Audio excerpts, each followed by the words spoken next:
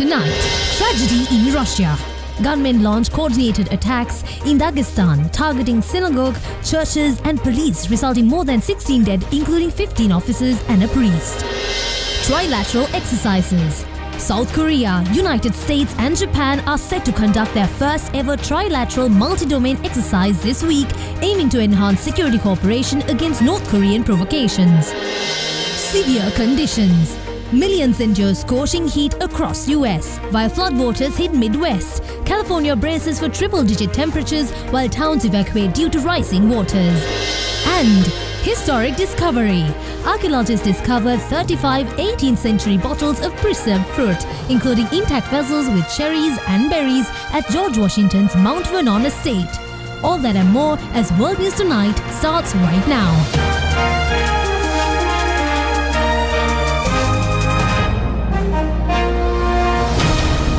This is Ada Derana World News Tonight. Reporting from Colombo, here is Sanuvi Mudanayaka. Good evening and thank you for joining us on World News Tonight. We have some key updates to report to you in the beginning of this week, and we start in Russia with a tragic attack that happened in Russia's Dagestan. The cities of Derbent and Makhachkala have experienced severe attacks on police officers, churches, and synagogues during the Orthodox festival of Pentecost and have resulted in multiple fatalities. Over a dozen police officers and several civilians are among the dead, with six attackers killed, and authorities were actively pursuing others involved throughout the day. In a series of devastating attacks, police posts, churches, and a synagogue in Russia's North Caucasus Republic of Dagestan was targeted, resulting in the deaths of 19 police officers and several civilians. Violence also claimed the lives of six gunmen, while at least 16 individuals were hospitalized with injuries. These attacks, which appeared to be coordinated, took place in the cities of Derbent and Makhachkala during the Orthodox festival of Pentecost. Among the victims was Father Nikolai Kotelnikov, an Orthodox priest who had served in Derbent for over 40 years. His identity was confirmed by the head of the Republic of Dagestan, Sergei Melikov. Social media footage captured scenes of chaos as people dressed in dark clothing fired at police cars. Emergency service vehicles were seen rushing to the scenes. In Derbent, known for its ancient Jewish community, gunmen attacked a synagogue and a church, subsequently setting both buildings on fire. Dagestan, a predominantly Muslim republic in southern Russia, neighboring Chechnya, has a history of Islamist attacks. The current assailants have not been officially identified, but Russian media reports suggest that among them were Osman and Adil, sons of Magomed Omarov, the head of the Sergokalinsky district near Makhachkala. Omarov has since been detained by police. In the wake of the tragedy, Dagestan has declared three days of mourning as the region grapples with the impact of the violent assault. South Korea, the US, and Japan are conducting a trilateral multi domain exercise for the first time this week. Experts say North Korea, recently coming out from the summit with Russia, may react strongly against the drill, calling it a war practice. A nuclear powered U.S. aircraft carrier, the USS Theodore Roosevelt, arrived in Busan over the weekend ahead of a three way military exercise between South Korea, the U.S., and Japan. The Freedom Edge exercise aims to strengthen military training against North Korean provocations. The Freedom Edge exercise features simultaneous drills in surface, underwater, aerial, and cyber warfare. This week's exercise was announced when the defense chiefs of South Korea, the US, and Japan met in Singapore earlier this month. The exercise comes as the North's leader Kim Jong un gained confidence after a one on one meeting with Russian President Vladimir Putin last week, and on top of that, the signing of a pact that pledges mutual defense assistance in the event of war. Experts say it's possible Pyongyang would react strongly to the exercise. North Korea, meanwhile, is expected to hold a key meeting of its ruling Workers' Party this week to discuss follow up measures to implement the partnership agreement with Russia. Officials from both sides said that Russia and Ukraine traded attacks which resulted in casualties overnight and into yesterday. According to the Russian Defense Ministry, at least five people were killed, including three children, in a Ukrainian attack on Crimea yesterday, which said the supply of missiles made the United States responsible for the attack. For more updates on this, let's join Ada Derana World News special correspondent Shanuka Dharmaratna reporting from Whiteberg in Belarus. Shanuka? Yes. Report says that one person was also killed and 10 others were wounded by the Russian strikes on the Ukraine's eastern city of Kharkiv. The Russia Defense Ministry said that the Ukraine attack on Russian occupied Crimean Peninsula was conducted with five US supplied army tacticals missile system missiles. It added that four had been shot down and the fifth had detonated in the mid-air. The ministry claimed that the US specialist had set the missile's flight coordinates on the basis of information from US spy satellites. There has been no response from US which began supplying Ukraine with the missiles earlier this year. Footage aired on Russian state television showed people running from the beach and some people being carried off sun launchers. Authorities in Crimea said missile fragments had fallen near a beach on the north side of the city, Sevastopol. Russia annexed Crimea in 2014, though most of the world still considers ter territory part of Ukraine. Back to you. Thank you, and that was Ada Derana World News special correspondent Shanuka Dharmaratna reporting from Whitesburg in Belarus. Still related to the conflict, EU Foreign Policy Chief Josep Borrell said today upon his arrival at EU Foreign Ministers meeting that the European Union has found a way to use proceeds from frozen Russian assets to buy arms for Ukraine, despite holdups from Hungary.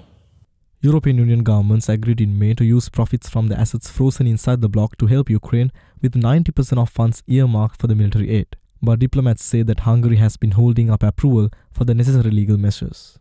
Hungary maintains warmer relations with Moscow than any other EU country. It does not give arms to Ukraine, and Hungarian Prime Minister Viktor Orban has criticized the EU and NATO members for doing so, saying they are fueling the war. With the first tranche to proceeds worth 1.4 billion euros due next week, EU officials had been scrambling for a way to allow the funds to be used immediately to help Ukraine defend itself from Russian invasion. Borrell said EU officials had now found a way to approve the measures without needing the consent of any member country that abstained from the original decision. The EU's plan for the immediate use of profits for the frozen Russian assets is separate from a decision by G7 leaders this month to use future proceeds to fund $50 billion in loans to Ukraine. According to state media, a senior North Korean military official criticized the US today for boosting military and aid to Ukraine, interpreting it as a gesture of support for Moscow in the ongoing war in Ukraine. Washington and Seoul are both worried about the possibility of heightened military cooperation between Moscow and Pyongyang.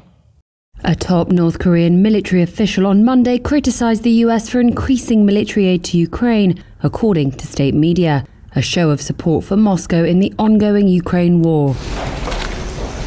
A recent pact between Vladimir Putin and Kim Jong un, announced during Putin's visit to Pyongyang last week, commits both countries to provide immediate military assistance in the case of aggression against either one of them, potentially enabling arms trading and strengthening their anti US alliance. Both Washington and Seoul are concerned about the prospect of increased military cooperation between Moscow and Pyongyang and have accused them of already violating international laws by trading arms for use against Ukraine. Russia and North Korea deny these claims.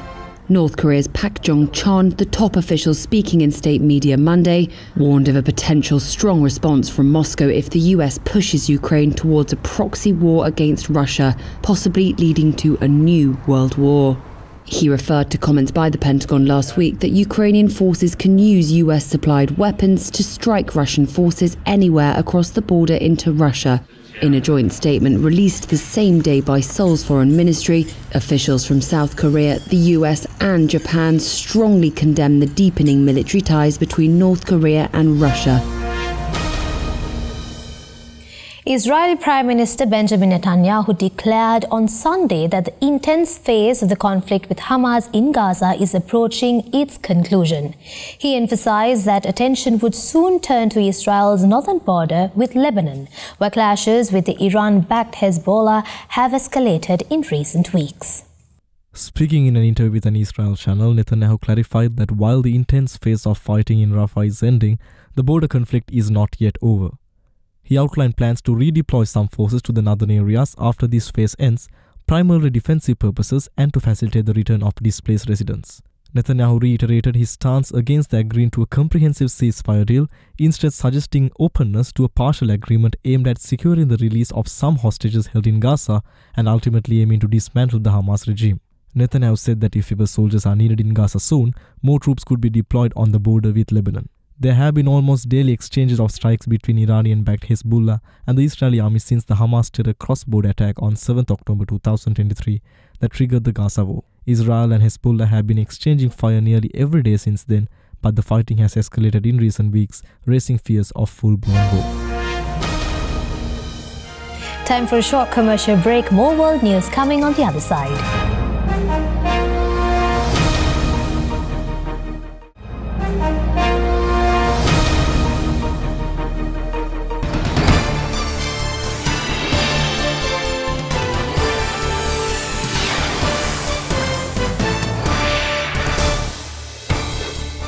On the road to the White House tonight, Donald Trump made two speeches on Saturday, urging Christian supporters to go to the polls for him one last time.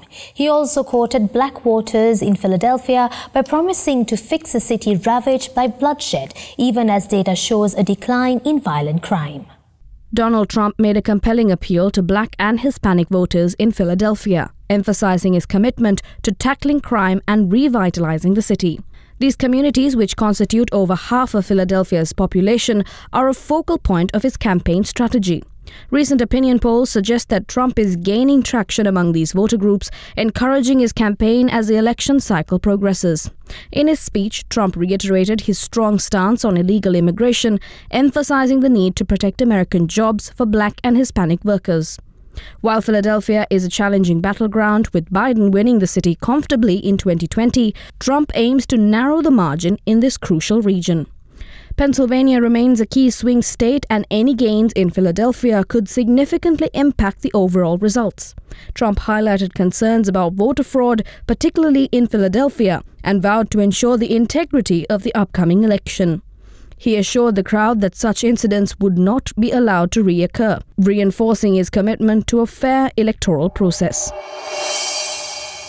A Spanish language billboard in Miami displaying the message No to dictators, no to Trump, alongside images of Donald Trump and former Cuban leader Fidel Castro, is sparking controversy as the 2024 presidential election approaches. According to U.S. media sources, Mad Dog PAC, a political action committee known for its anti Trump messages, is behind the provocative advertisement.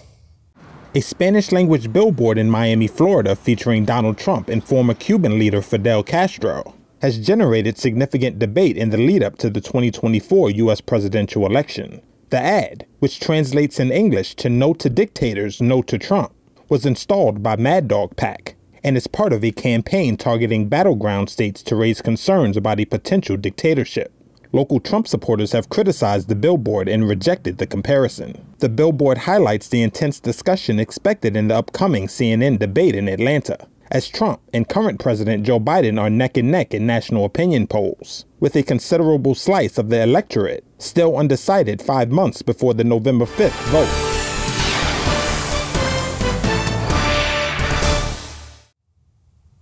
The United States is in the middle of multiple weather events as the country is facing two forms of extreme weather, with the Midwest experiencing floodwaters due to heavy rainfall, while millions of Americans in other states sweltered under an intense heat wave, with temperatures reaching 41 degrees Celsius. More than 100 million people across the U.S. were under heat warnings on Sunday, with cities on the East Coast bracing for record breaking temperatures. Cities like Baltimore and Philadelphia could touch records near 100 degrees Fahrenheit. States like Idaho, Montana, and Wyoming could see temperatures rise into the 90s, as much as 15 degrees above normal for this time of year. Temperatures have cooled in the Ohio Valley, Great Lakes, and New England regions, but excessive heat in the 90s Fahrenheit continues to stretch from Virginia to New York. And while excessive heat is causing problems in many states, others are contending with flooding. This video is from Iowa's Rock Valley on Saturday after it was hit by heavy rainfall. In Wisconsin, an eyewitness captured this dramatic storm cloud moving over the state capital. And in New Mexico, officials are responding to multiple weather events, including a dust storm, flooding, and two wildfires. The National Weather Service said the extreme heat will shift to Nebraska and Kansas on Monday. Research shows climate change is driving the dangerous heat waves across the Northern Hemisphere this week and will continue to deliver dangerous weather for decades to come. To the turbulence at Boeing now. U.S. prosecutors have recommended that the Justice Department pursue criminal charges against the company. This development follows the Department of Justice's assertion that Boeing violated terms of a settlement linked to two fatal crashes involving its 737 MAX aircraft, a claim Boeing has denied. Boeing may yet face criminal charges. Prosecutors are recommending the move after finding the plane maker violated a settlement related to two fatal crashes. Boeing had been shielded from criminal charges over the loss of two 737 MAX jets in 2018 and 2019. Under the terms of a deal agreed in 2021, the company avoided prosecution for conspiracy to commit fraud over design flaws with the planes. That was in return for overhauling its compliance procedures and submitting regular reports. It also agreed to pay $2.5 billion to settle an investigation into the crashes. However, the sources say prosecutors have now concluded that Boeing did not honour the terms of the deal.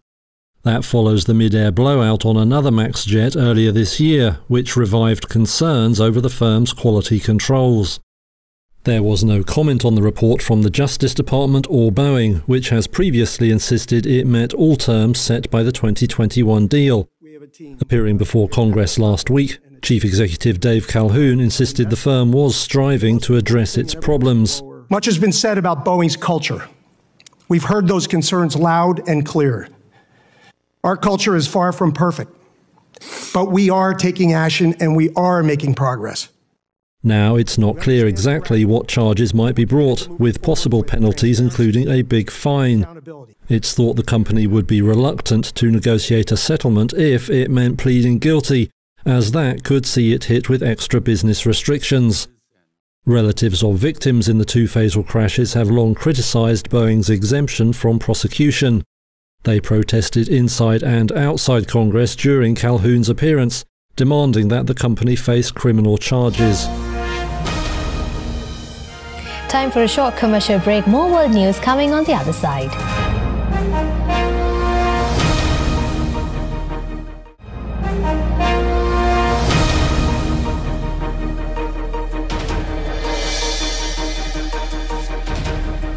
Welcome back. The tale of a young George Washington chopping down a cherry tree might be pure myth, but recent archaeological excavations at his Mount Vernon estate uncovered a fascinating piece of history. In the mansion's cellar, researchers found glass bottles filled with perfectly preserved cherries and berries, possibly gooseberries and currants. Cherries seem to play a part in President George Washington's legacy, and the newest discovery at his former home just won't let the legends go. In the cellars in Mount Vernon, Washington's Virginia plantation, archaeologists uncovered glass bottles filled with cherries and fruits. The total bottle count was 35 bottles. Researchers found the bottles accidentally, as Mount Vernon is undergoing a $40 million restoration project. Archaeologists believe the bottles were placed in storage pits in a cellar, which was then paved over with a brick floor. Besides the Washington family, Mount Vernon was also home to hundreds of enslaved men, women, and children. It was likely they were the ones who picked and then preserved the fruit. Plantations like Mount Vernon are where all of these different styles of cooking and different plants and animals came together, with European, native, and African antecedents. And all of that stuff is woven into a new cuisine, an American cuisine, and this is part of that. So there is a lot of information that we're excited to, to get from these bottles, and they can tell us a lot about what life was like here. The U.S. Department of Agriculture plans to conduct DNA testing on the well preserved 250 year old fruit. Presumably, they ended up on the Washington's table um, and were eaten either as just fruit out of the bottle or they were baked into other confections or used in a different manner. Um, we do know that the Washingtons were very fond of ice cream. These could have also ended up in ice cream, who knows. While the story about George Washington not lying about cutting down a cherry tree has been all but debunked, we do know the $1 founding father ate them. And with that, we conclude our first bulletin for the week. We will see you again tomorrow with the latest happenings across the globe. Stay tuned as Sina Mayadona will join you next with the nightly business report. Thank you and good night.